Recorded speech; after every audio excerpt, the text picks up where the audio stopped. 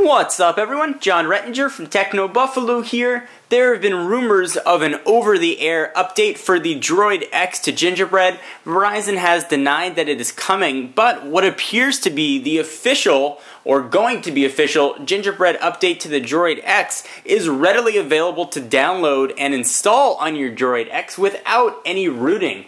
Uh, the folks over at Droid X forums, all the instructions are going to be down below, have made it idiot proof, proof positive. I actually did it here uh, very, very simply. This gives you gingerbread. It gives you the updated version of Motoblur, which is really welcome. So if you want to check it out, all links are down below. Let me walk you through very quickly about what you can expect on gingerbread on your Droid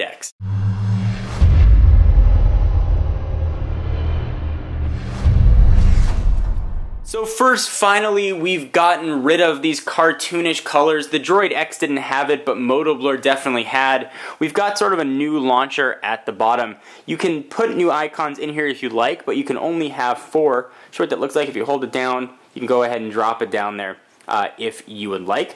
So let me go ahead and show you that this is indeed running Gingerbread, and it is running 2.3.3. You can see right there. Menu system is now white and you get that sort of gingerbread look when you scroll to the bottom.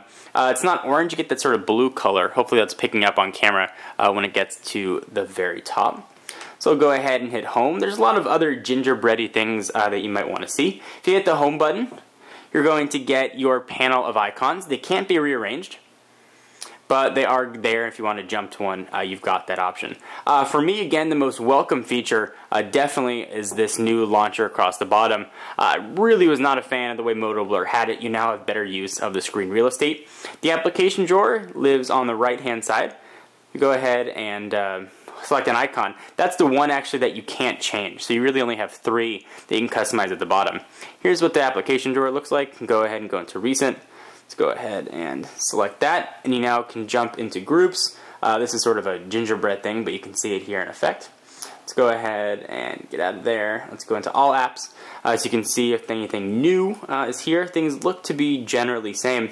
Uh, this is very zippy. There you can see a little blue at the bottom, hopefully. I updated this yesterday and I've noticed a huge increase in speed, which is quite nice. Uh, other gingerbready things that you're going to see, we now have the app manager. You can manage your applications.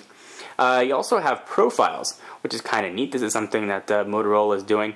Really, it's pretty standard stuff, home, work, weekend. You can go ahead and customize it any way you want. We'll go ahead and select work, takes a minute, and it's just a blank slate. You can customize the background if you'd like.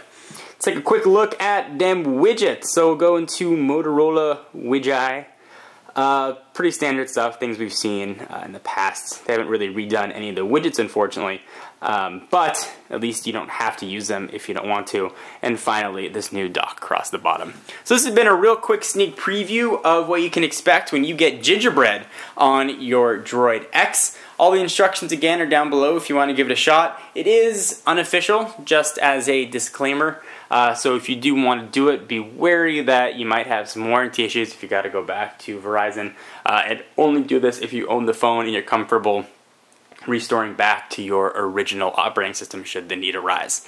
Uh, I'm Jon Rettinger from TechnoBuffalo, and I'll see you in the next video.